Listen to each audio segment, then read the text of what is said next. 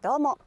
滝沢沙織の部屋へようこそ、えー、本日はちょっと Vlog 風にあのー、撮影しようと思っていて私あのレギュラー出演中のですね毎週火曜日「晴れ時々ファーム」という番組をやってるんですけれどもその現場からちょっとね今日はね少しあの最近の畑の感じだったりとかまあ今寒い時期なのでそんなにたくさん作物はないんですけれどもなんかそういうのの様子をちょっと撮っていこうかななんて思ってますこちらね水仙が咲いてるんだけどもうねそろそろ水仙も終わりかなちょうどいつもねあの畑にね入ってくるところにねここにね水仙がすごいの。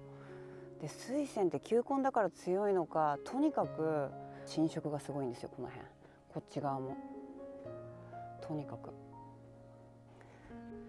で今ねまだ時期的に2月なんですけどちょっと見えるかな。こうやって梅のね花がね少しずつ咲き始めてるんですよ。ほら綺麗ですよね。こんな感じで。ちょっとピント合わないかなしっかり。ちょっとピント合わないけど。こんな感じでね梅のね花もね咲いてきてて。で毎年毎年基本的に何の手入れもしてないこのほらみかんの木。これねすごい重宝するんですよ。私いつもねこうこのぐらいの時期になってくるとねたくさんできるからこうやってみかんが。だからねいっぱい取ってね家でねジューサーとかにかけてねジュース作ったりするの。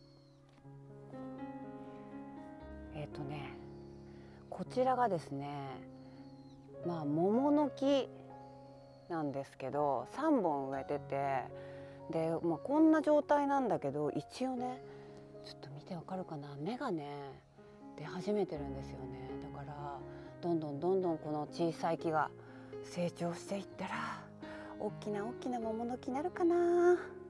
楽しみ。あとこっちねもう今葉っぱ枯れてるけど栗の木。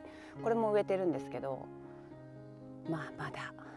でも木自体はしっかりしてます。しっかりしてますね木は。あとねこっち側にこれお茶。お茶茶。お茶の木です。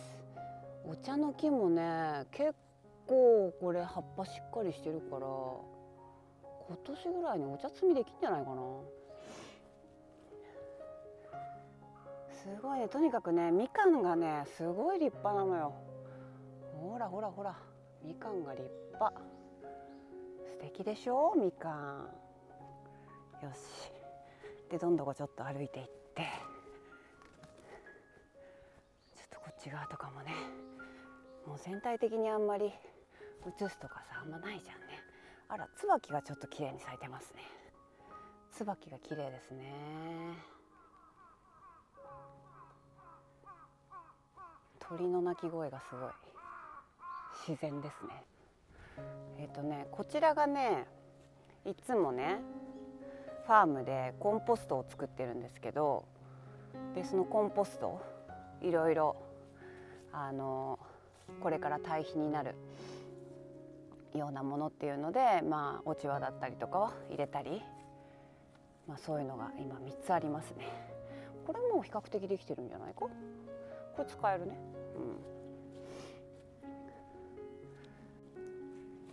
はい。